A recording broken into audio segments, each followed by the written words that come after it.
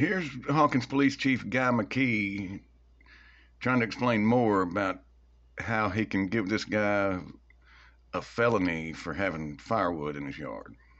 Nation at this point is as long as we continue to see progress, to continue what we're doing, uh, we, we will probably be issuing another fine pretty quickly, um, in the next couple of weeks for the junk. Not the tree limbs, just so you can let them know, for the junk. What Yes, sir. What penal code is that three hundred foot under?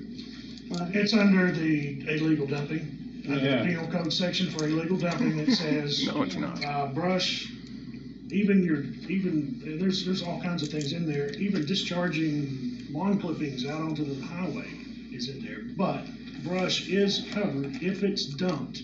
That means picked up somewhere else and dumped on your property. And it's within three hundred feet of a highway, which 14's right there, so.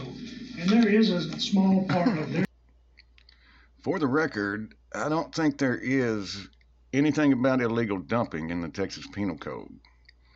In the Health and Safety Code, in Chapter 365, I believe it's .012, there's a deal about illegal dumping, but it doesn't say anything about brush or anything like that. He's just pulling shit out of his ass just to try to write, not even write this guy a ticket. He's fucking wanting to give him a felony.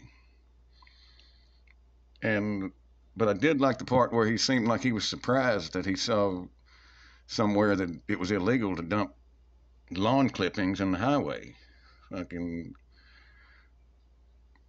goddamn, but it's not in your own yard.